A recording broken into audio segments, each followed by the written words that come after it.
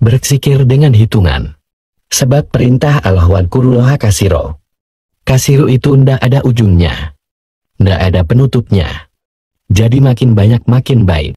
Semakin banyak orang ibadah. Harusnya makin banyak. Akan makin tak dihitung lagi.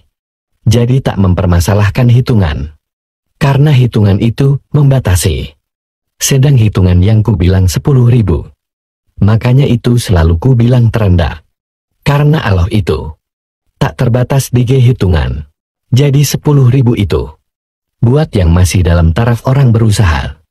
Jadi orang yang berusaha melawan nafsunya sendiri.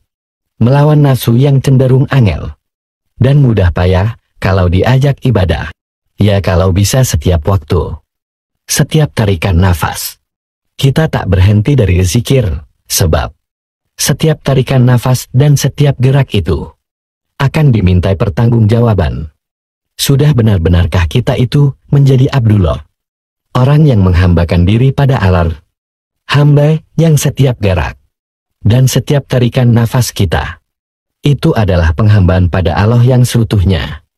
Bukan kemaruk pada keinginan pribadi. Yang akan membawa kepada ketersesatan. Menjauhi arah yang kita tuju, yaitu Allah. Pernahkah kita ini melakukan satu hari saja dalam masa kita hidup ini? Sampai umur sekarang. Satu hari saja. Hati kita terisi asma Allah. Tanpa henti. Di mana pun kita berada. Dan tubuh kita selalu. Dalam keadaan suci. Dan menjaga wudhu. Pikiran kita mengangankan. Semua keagungan.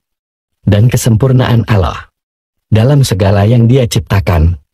Nah mari kita jawab dan talaah. Diri masing-masing. Kalau seseorang memikirkan suatu keutamaan suatu amalan dan beribadah sampai mengharap mendapat keutamaan itu, maka seperti Allah itu seakan-akan cuma jadi jembatan untuk mendapat keutamaan itu. Allah kan yang memberi aneka macam keutamaan. Lalu kalau kita mengharap keutamaan, seperti Allah itu jadi lewatan untuk mendapat suatu keutamaan itu. Pagar nasihat sangkai.